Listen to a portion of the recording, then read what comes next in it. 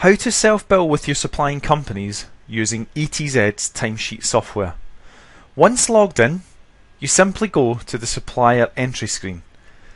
From here, you will be able to see a list of the supplying companies you have set up on the system, and you then simply choose the supplying company you wish to update. Once in, you can then choose the self-billing option with a simple tick of a button.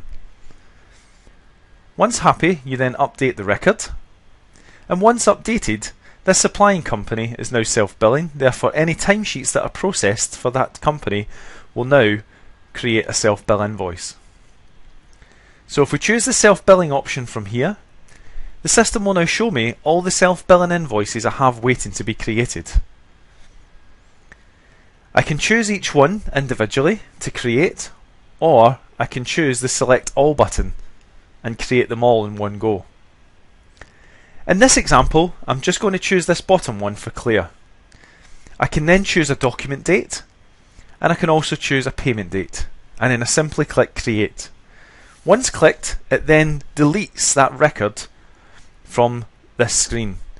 And what it's done is actually moved it from create into an undelivered folder where it's created the self-bill invoice.